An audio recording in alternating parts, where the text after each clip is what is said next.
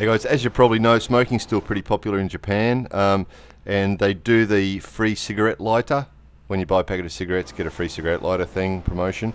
But they also do this one.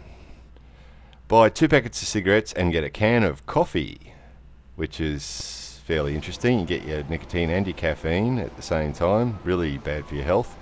But this one is different buy this rather feminine looking packet of cigarettes and get a bottle of perfume.